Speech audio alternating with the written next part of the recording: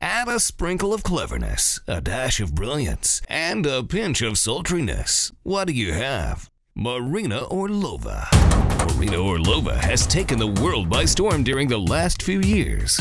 Marina. Marina Orlova. Marina. You have to be the most genius businesswoman I know. Her internet series mega hit, Hot for Words, has been a fan favorite to countless people with over a half million views and hundreds of millions of YouTube subscribers tuning in for her sexy, witty series.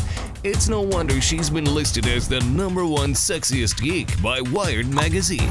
Euphemisms, acronyms, jaywalking. Poindexter.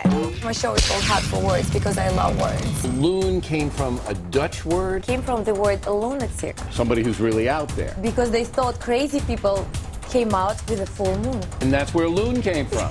I love that. Marina score. Her book, Hot for Words, was published by HarperCollins with rave reviews. Marina has literally lived the American dream.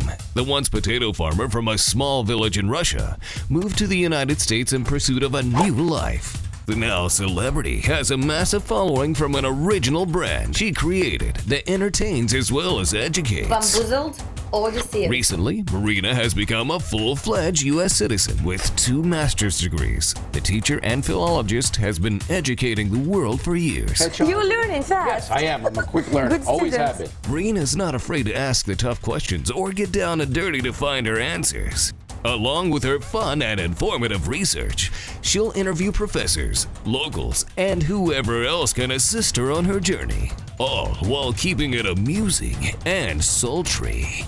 Her central task? To investigate the meaning and origins of words, one word at a time. Passionate. You've seen her on television dozens of times, but not like this. Marina is poised to conquer the world in a new television series where she embarks on an amusing and enlightening mission to figure out the history and meaning of selected words. Libertarian is the opposite of necessitarian. Marina will venture around the world as she continues on her pursuit to investigate and educate the masses. Marina Orlova.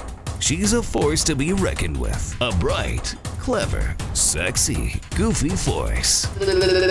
Hot for words. Coming soon.